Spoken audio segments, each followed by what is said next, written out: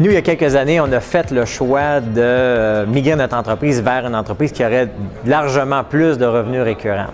Euh, on faisait à peu près 25-30% de revenus récurrents. La balance, c'était des projets qu'on vendait un à un. Et puis là, il fallait en vendre assez pour que ça soit rentable à chaque mois pour couvrir tous nos coûts. On a fait le virage cloud computing, donc nécessairement, on a investi dans une infrastructure. Euh, puis le cloud computing demandait qu'on ait un modèle de revenus qui était Donc, ça a été vraiment toute une transformation de notre entreprise.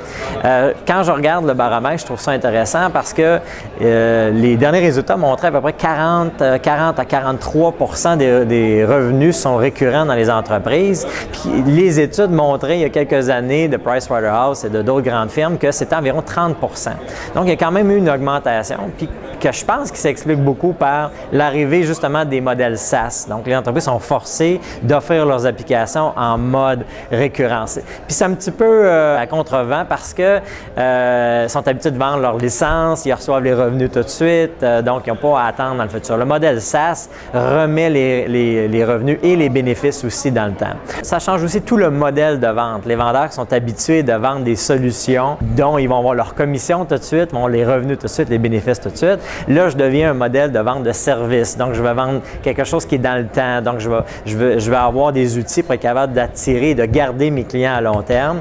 Peut-être plus difficile si je n'étais pas habitué d'avoir ce modèle-là.